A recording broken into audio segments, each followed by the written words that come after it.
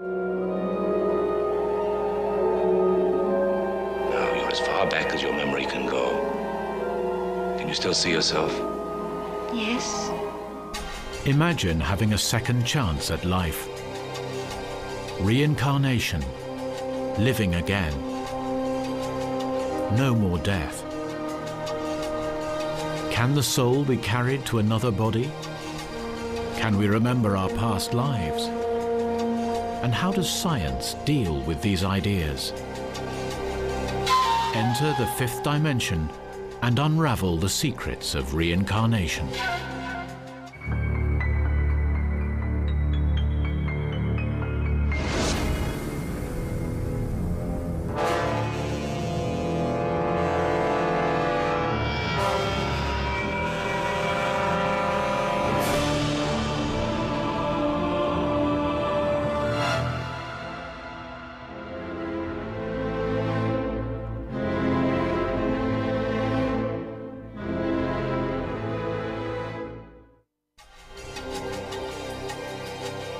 Millions of people, reincarnation is an accepted fact.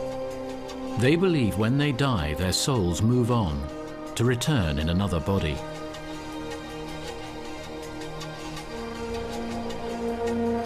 We are making huge strides in unlocking the secrets of memory and brain.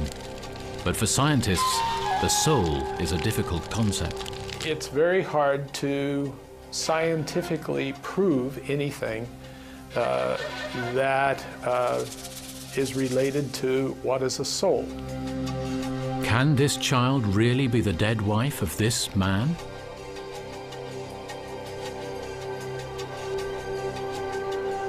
And the mother of a boy her own age? Can this girl carry the spirit of a dead teenager? How can they remember their past lives? But I do believe that um, reincarnation should be taken seriously. There are many strange stories of people claiming to remember earlier lives that at first glance defy explanation. Benares, northern India. The holy river Mother Ganges flows through the city.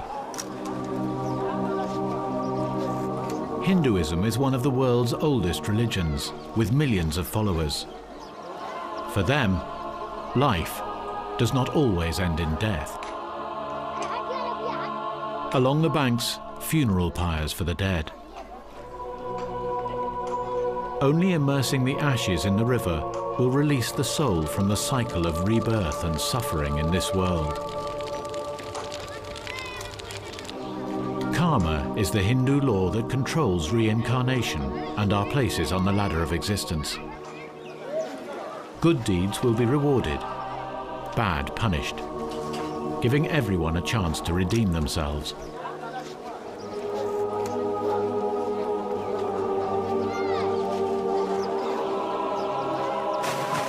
The priests believe it offers comfort.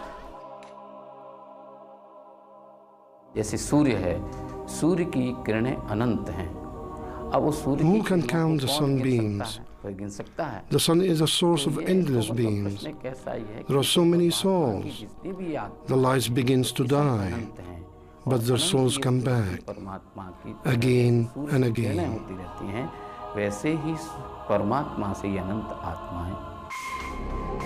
Thousands of tales of reincarnation exist in India. On the 11th of December 1926, a girl is born in Delhi. For Hindus, she was to become living proof of their beliefs. Her name was Shanti Devi. Until the age of four, she never spoke. When she did, her first words were explosive. She told her mother that her home was not in Delhi, but in a town called Mathura, 140 kilometers away. She had lived there in her past life.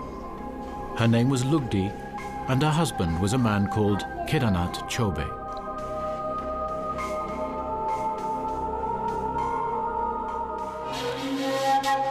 Shanti was able to describe the town in astonishing detail, even though she had never been there. She could even remember how she died.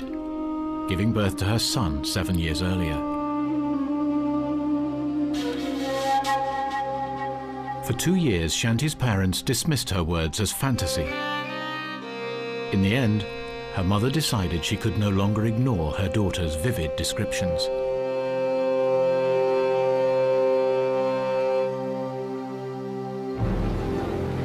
So one of Shanti's uncles travelled to Mathura to investigate her claims. What he found seemed to confirm her story. There was a clothmaker living in the town. His wife Lugdi had died in childbirth the year before Shanti Devi was born.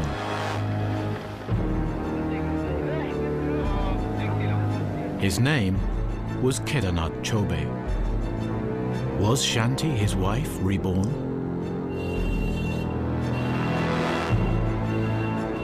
Dr. Rawat is one of India's leading specialists on reincarnation. He has spent much of his life retracing Shanti's story and recalls Kedarnath's first encounter with her. When Kedarnath came to Delhi, and there were a lot of people very curious to know whether Shanti had been talking all nonsense or is there is truth in it. But when in the morning, Kedarnath very openly and clearly stated that uh, I am 100% convinced she is Lugdi. The whole thing spread like fire and hundreds and hundreds of people used to come to see this child. In the 1930s, India was in turmoil as the country struggled for independence from British rule. Hindus and Muslims clashed violently. Mahatma Gandhi, a Hindu, was seeking a peaceful solution. He moved Devi's story center stage in the wider struggle. At the same time, India has many people from many other regions also. They said that it is the whole story is a propaganda done by Hindus in order to promote their religion. In 1935, Gandhi asked for Shanti Devi to be brought to him. Shanti told me when she was narrating her incidences that she still remembered, even at the age of 62, that she, she was, uh, she felt the bones of Gandhi when she was sitting in his lap. For Hindus, she was living proof that their laws controlled human destiny.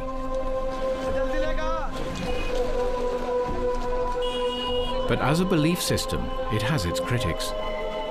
Even inside India, many don't accept karma or reincarnation. Sanal Edamaruku of the Indian Rationalist Society is one. I have been personally involved in studying hundreds of cases of reincarnation, and I am convinced that all these cases that I have been exposed to were absolutely fake, hoax, or sometimes simple mental cases.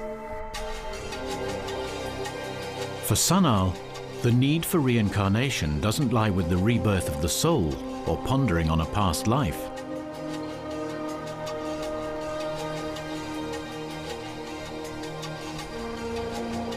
He looks to Indian society for the answers. To be born a Hindu in India is to be born into a caste, a system as rigid as stone. For over 1500 years, it's followed one basic rule that all men are created unequal. Brahmins sit at the very top of the ladder. At the bottom are the untouchables. To explain the enduring power of reincarnation, this is where Sanal believes we should start. The fundamental concept of reincarnation tell you a very wrong thing. Whatever life situation that you have in this life is the gaining of you. It is the gaining of you from the last incarnation. If you have done good deeds in the last birth, you get better life here. If you, if you are an untouchable, if you are a poor person, if you don't have money, if you don't have job, if your situations are bad, that's because you have done some sins in the last life. That takes away the sense of enterprising in people. People are lethargic.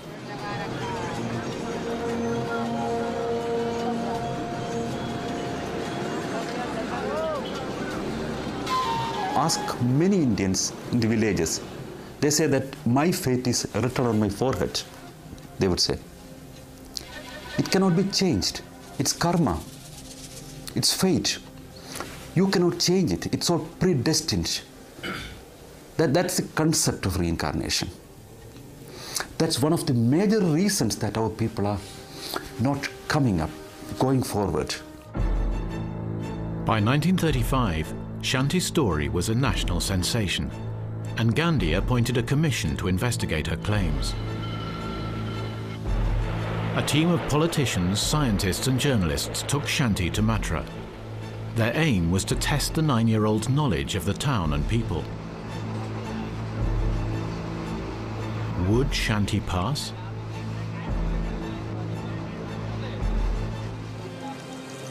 When the team arrived in Mathura, they were astonished by how much the child knew. She answered many questions correctly, although several she got wrong.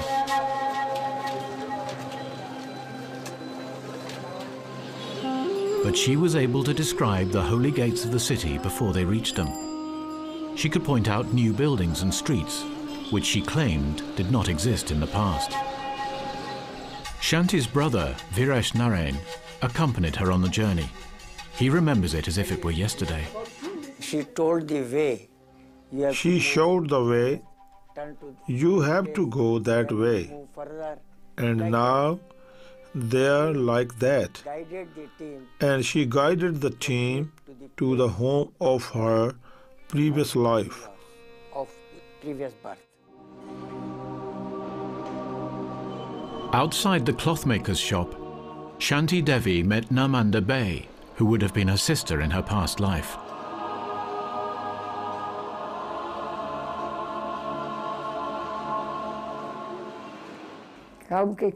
She recognized me straight away. There were so many people, they were pushing her away from me, but she recognized everything. She knew of each lane, where it led to, knew every tenant, knew where they lived. She recognized the cobbler, the washer, all of them. The trip culminated in a dramatic encounter.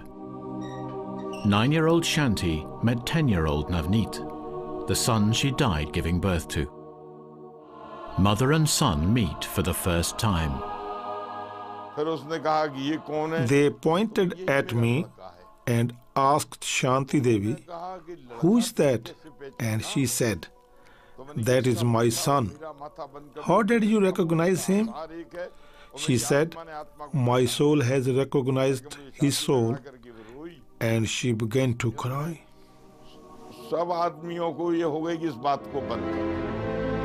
For the Commission, this was final proof. Their report concluded that if science and religion could meet on a common ground together, they could unlock the miracle of reincarnation. The case is of worldwide importance, with direct effect on mankind. We ask all scientists to help us find a conclusion. But what could science contribute to such an unscientific debate? In America, the McGovern Institute for Brain Research tries to unlock the mysteries of human memory. Nobel Prize winner Professor Philip Sharp heads up the unit. Soul, in many cases, has an implication related to religion or uh, good and bad, uh, and uh, a existence beyond the physical organism. And um, it's very hard to scientifically prove anything uh, that uh, is related to what is a soul. What is a difficult concept for a scientist is accepted as a simple truth for millions around the globe.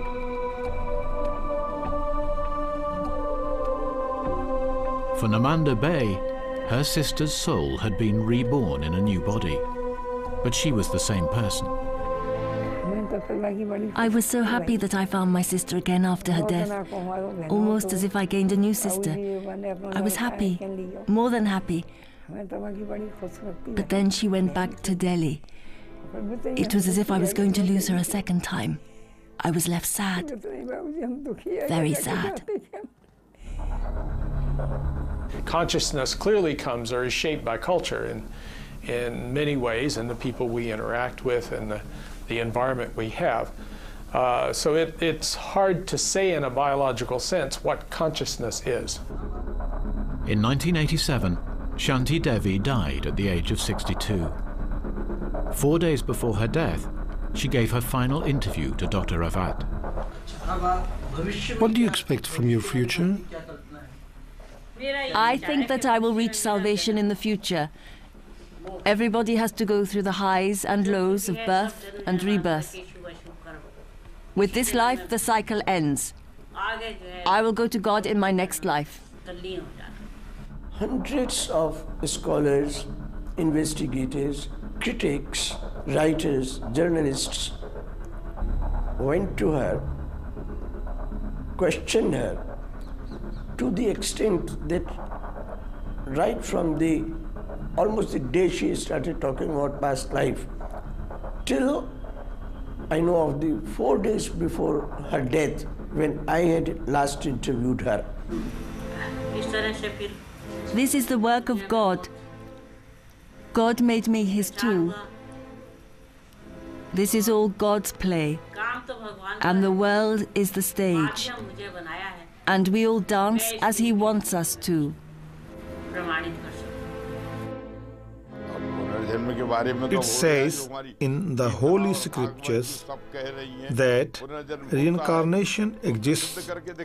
My mother proved it and showed everyone that there is such a thing as rebirth. She was living proof, and all those people who didn't believe in it had to accept that there is reincarnation. But one year after Shanti's death, disturbing new evidence came to light. Kedarnath Chobe, Shanti's alleged husband, had paid regular visits to Delhi. These visits could cast doubt on Shanti's claims. His trips to the capital regularly took him to a shop opposite her family home. Is it possible that young Shanti could have overheard Kedarnath's conversations about his life in Mathura and subconsciously absorbed the knowledge? You cannot underestimate the power of suggestion, uh, uh, inadvertent suggestion. Conversations in a hall, uh, a parent telling a story, uh, you know, a, a, member of the community talking around a, uh, uh, uh, gathering at some time. Children are a, a tabula rasa. They, they are totally receptive to suggestions.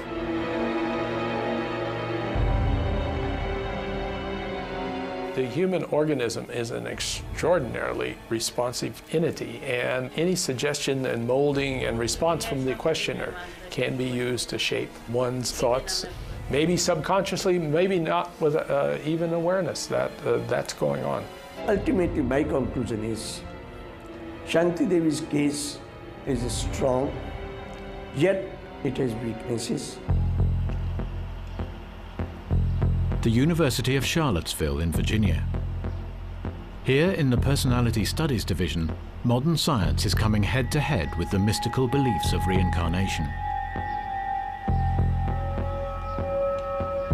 The unit tries to establish hard evidence of the truths behind the stories such as Devi's. They use the information to assess the potential applications in understanding the human personality.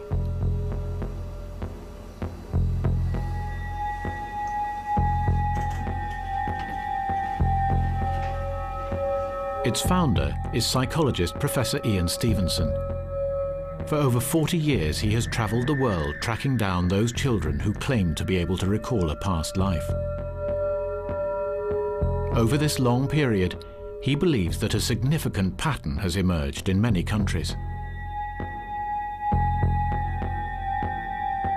Individually, the cases of these little children seemed uh, weak, but um, when you looked at them as a whole, they uh, uh showed me uh, certain uniformities. Very young age of the ch children, two to five, and then the tendency for the children to forget when they were seven or eight. What began as a personal interest developed into a fully funded research project, which is still struggling to find the truth.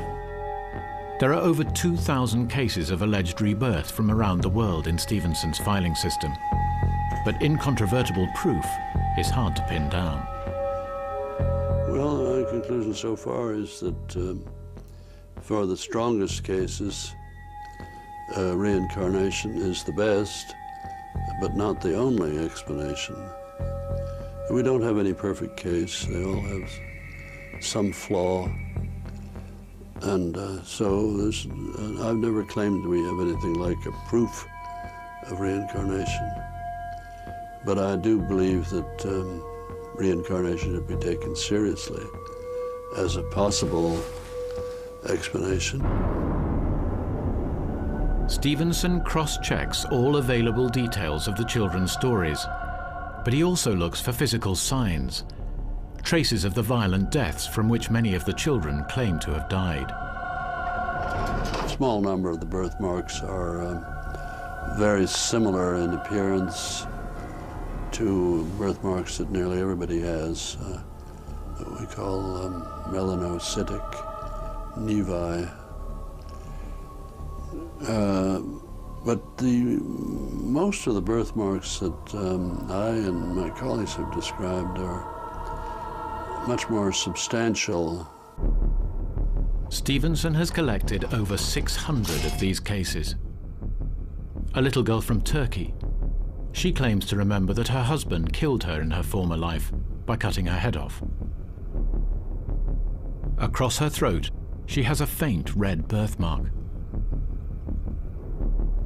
There's the little boy from Sri Lanka. He says he was killed by a shot in the head.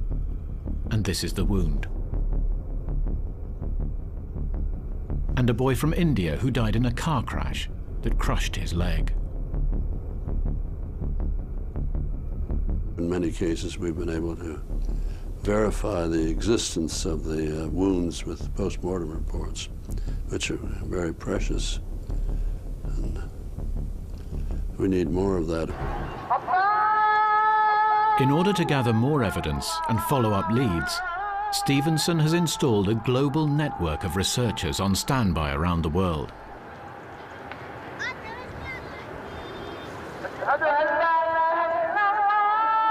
In 2003, in southern Turkey, a curious case came to light.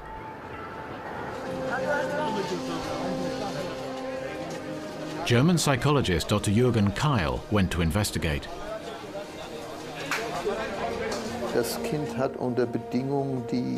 Under circumstances that I would call good, the child was able to give me information that, in my opinion, could not possibly have come from her current life. I would therefore call it a case that is above average.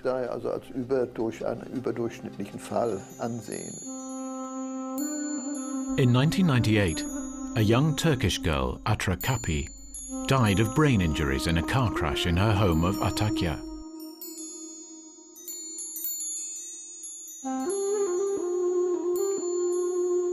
Twenty-eight days later, in another Turkish village not far away, Demet Yildirim was born.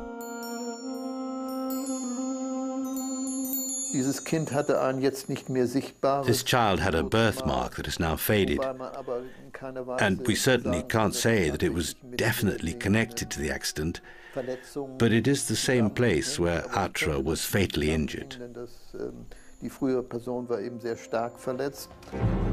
At the family home, Keil meets Demet and her grandmother Kesben Yildirim. She is absolutely convinced by her grandchild's story. Demet said from the beginning that she had two mothers and she even knew the name of her mother from her past life. Lemia.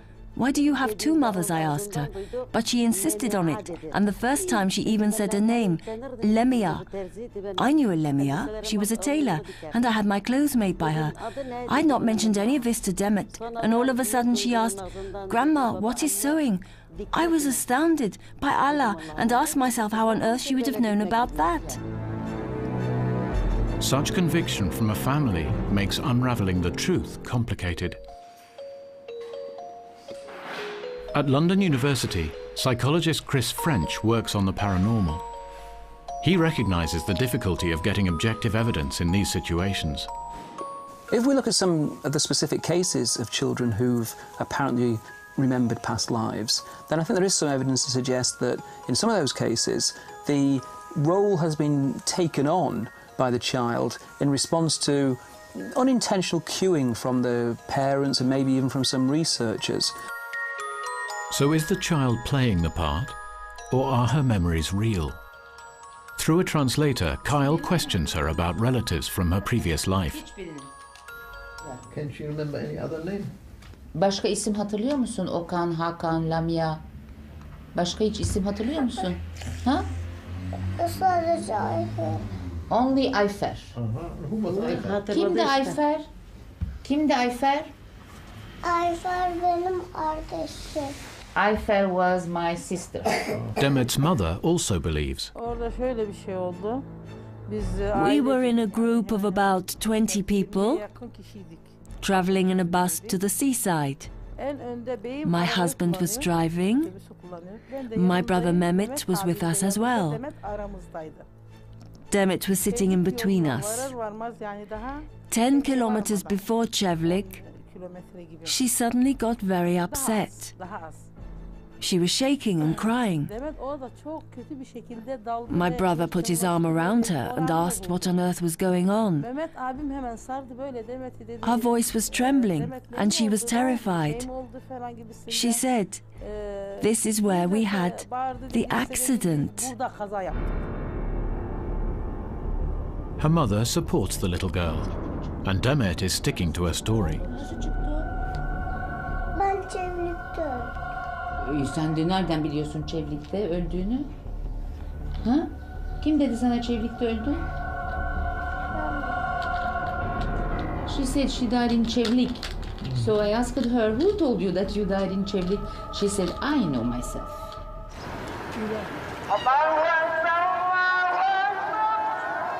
The family belong to the Alawite sect of Islam, a group that deviates from the religion in one major way. They believe in reincarnation.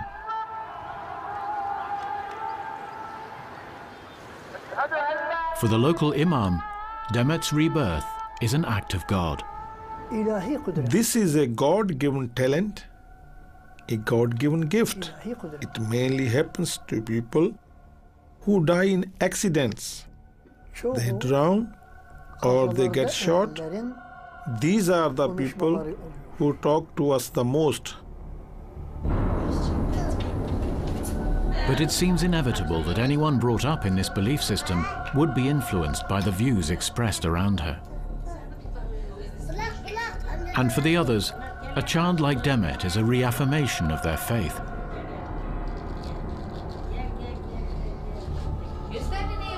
Chris French believes the setting and background are all important in these cases. What happens is this provides a kind of context in which the development of false memories, so the children actually come to believe that they really did have these past lives, is likely to happen. Yet Demet claims to remember all the details of the fatal crash. Keil visits Ayfer Kapi, sister of the dead girl, who was also in the accident and who also has uh, memories. The person who died. I crawled out of the car and could hear that they had found her, quite far away from the place where the accident happened, near a canal. Her mobile phone and her cigarettes were still lying there. She was bleeding badly from her head, and you could see the inside of her skull.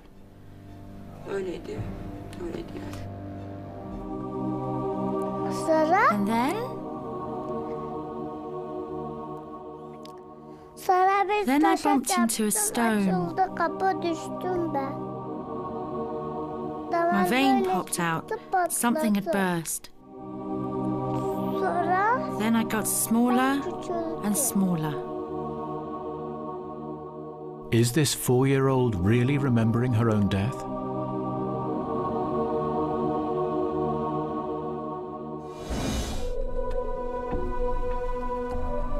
Finally, Ayfer Kapi meets the little girl who claims to be her sister reborn.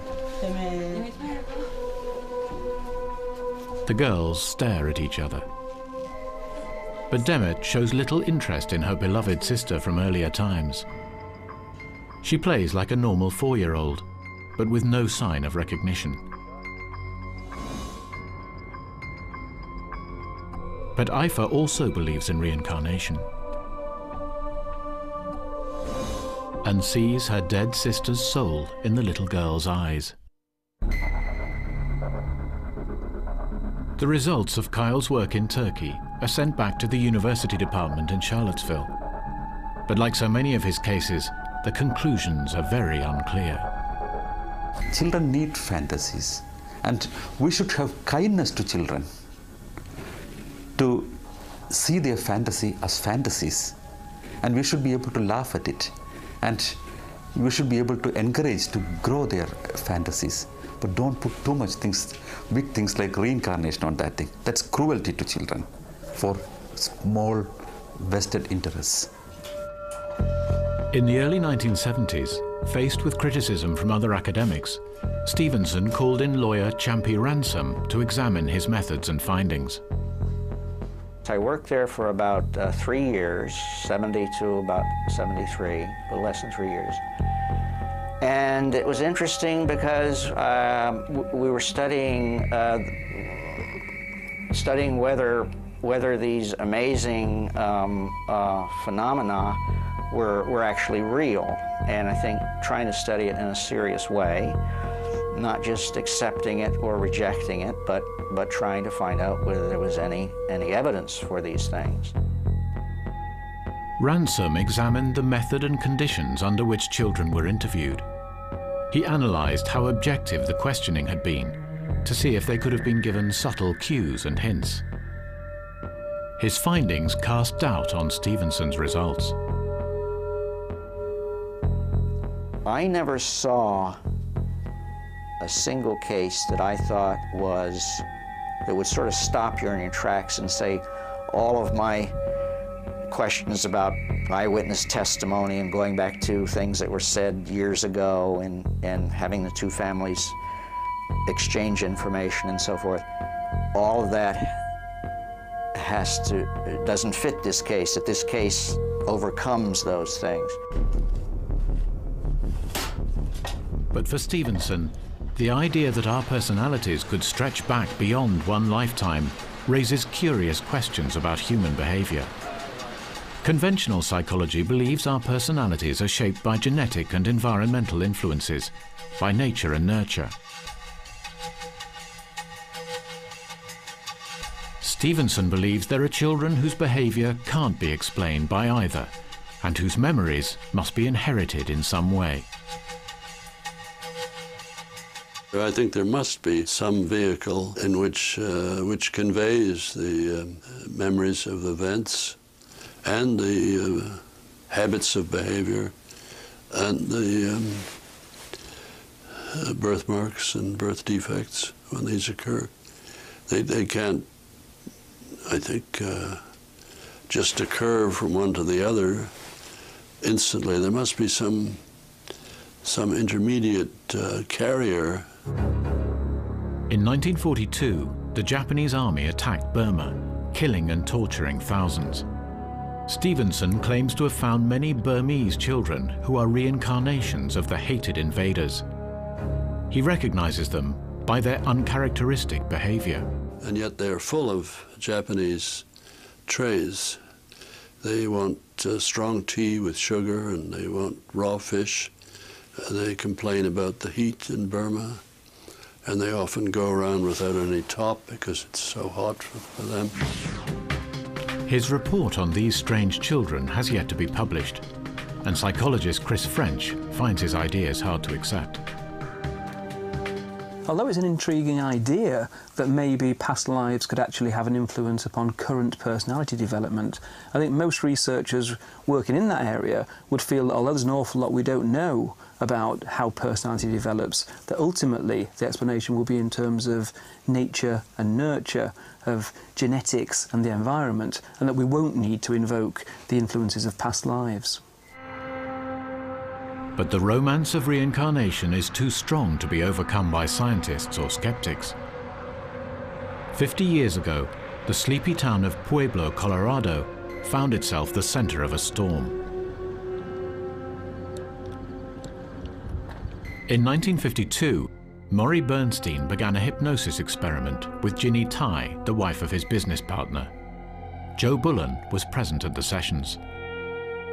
I was the person uh, doing what your gentlemen are doing here, holding, doing the taping and, and assisting in the interviews.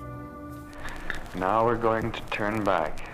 We're going to turn back through time and space, just like turning back in the pages of a book. And when I next talk to you, when I next talk to you, when I next talk to you, you will be seven years old, and you will be able to answer my questions. Do you go to school?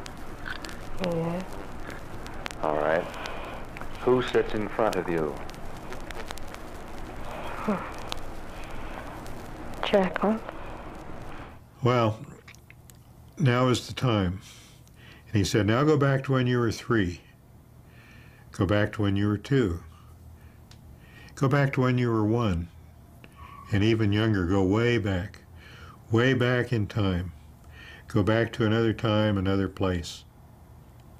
And tell me what you see. Now you're going to tell me what scenes came into your mind. What did you see? What did you see? Oh, scratched the paint off there on my bed.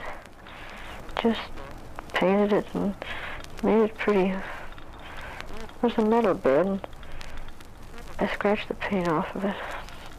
Dug my nails on every post and just ruined it. It was just terrible. Why did you do that? I don't know. I was just mad. An awful spanking. Morey was really astounded himself at this point because here was obviously a whole nother personality. It had nothing to do with Jenny Tighe. And so he regathered himself and started asking questions and found that she lived in Ireland around the year 1800 and that uh, and then he brought her up through hypnosis to being older and describing her life. In the same year, Bernstein published a book about the sessions.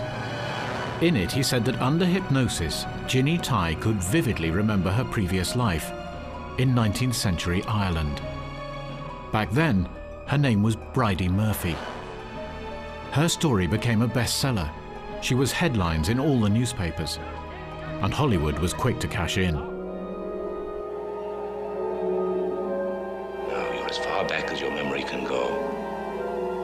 Still see yourself? Yes.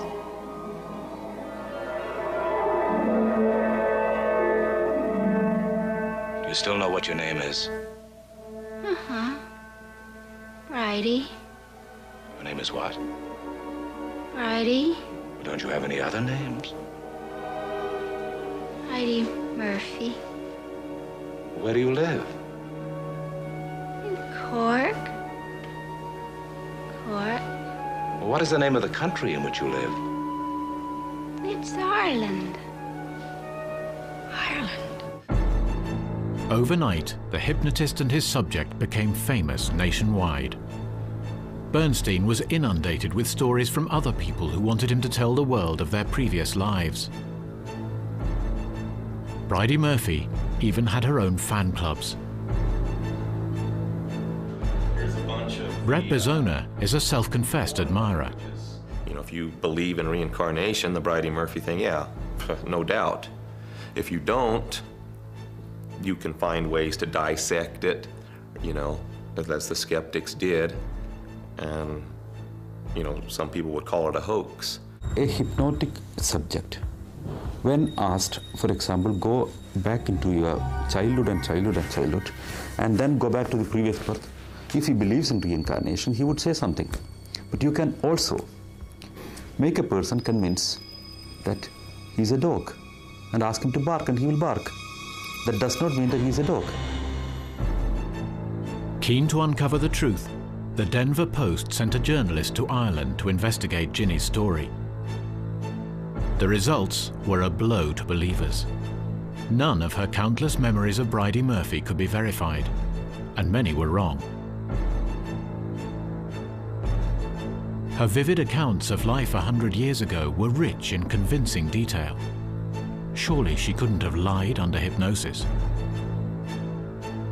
Now, the problem is that people think that hypnosis is some kind of a magical key to unlock repressed or hidden memories, either from their own past or even from a past life.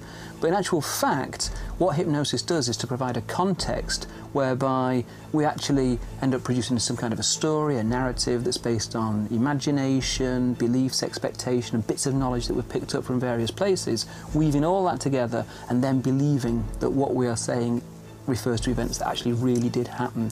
It's the ideal, perfect tool for producing false memories. She didn't want to be hypnotized anymore, and one of her quotes was uh, in the Pueblo paper, you know, if I'd have known then what I know now, I would have never laid down on that couch. In spite of all the criticisms, many still claim to believe in her. She's certainly the most famous person ever to come out of Pueblo, and as the town's biggest tourist attraction, much appreciated.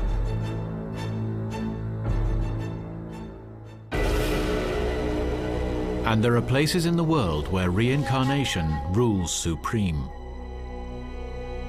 Amidst the heavenly peaks of the Himalayas, Tibetan Buddhism has flourished for over a thousand years. Reincarnation has been an accepted part of that life for centuries, as His Holiness the Dalai Lama, himself a living God, explains. If you accept this, if you life, continuation of life, then death is just it's one occasion. Like you see, they're changing your, your when your clothes become, what's it, old, and then you see the, the old clothes, you see, uh, uh, throw away and take, you see, new, nice, nice, you see, clothes. Similarly, this old body uh, uh, cannot function properly, then change the new body, more energetic, more, more fresh body. Tibetan Buddhists believe that Buddha, their god, is reborn through countless generations in the human form of the Dalai Lama. This unshaken belief means that Tibetan Buddhists accept that memories and experiences can be passed on intact from one body to another. Professor Phillip Sharp is less sure. You have to, to picture that the beginning of a human being is a single cell which then divides and makes two and then changes its character to make neurons for the brain and then organizes the brain by external experience. And recording within that process uh, a specific memory uh, would be uh, hard to picture. Reincarnation may fly in the face of science, but is central to Tibetan society.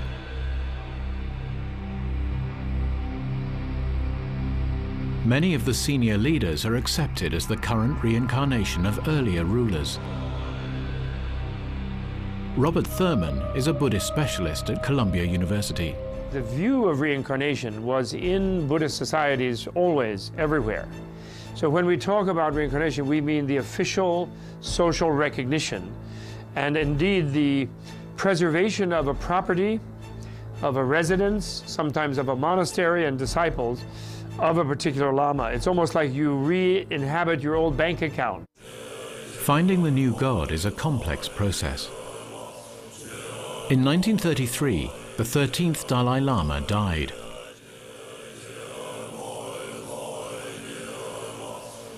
The government were faced with the task of appointing a successor. But in a country that is the size of Western Europe, how would they locate him in his new body?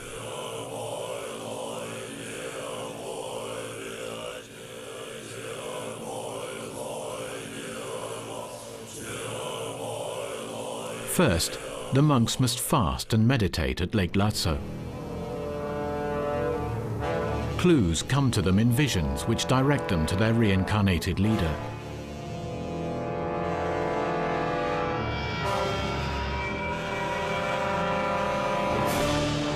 In 1937, a party of the former Dalai Lama's associates, disguised as peasants, followed the visions and located a two-year-old child, Tenzin Gyatso. He was immediately put to the test. The child recognized objects that belonged to the former Dalai Lama and greeted the associates as if they were old friends. He had passed. In 1940, the 14th Dalai Lama was enthroned, a tradition that serves a secular as well as religious purpose. And the monastics are celibate, they don't have children. How is the succession going to work? It's not going to be easy. You know, the charisma, the charisma of the dynasty and the little crown prince and all that has a certain charisma. So the reincarnation institution can replace that charisma very effectively. But the institution is under threat. In 1950, the Chinese occupied Tibet, forcing its leader into exile. The monasteries were closed, the monks forced out. For 50 years, Tibetans have struggled to keep their beliefs alive. Their resistance has been so strong that even their Chinese occupiers may have to bow to the system.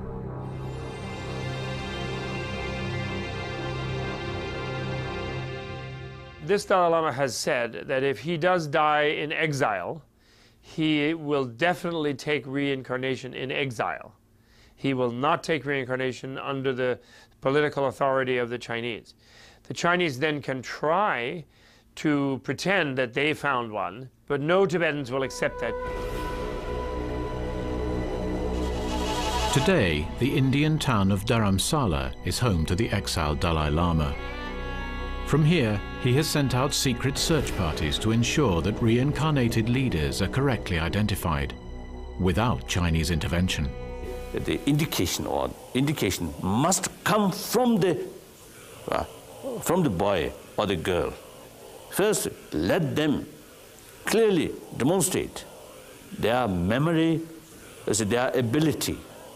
If that's quite satisfactory, then on the, on the basis of these how to say, factor, then choose, then decide. So that's the, that's the proper way. Here is a living system based entirely upon belief in the rebirth of the soul. The future may be uncertain for Tibetans, but their beliefs will live on.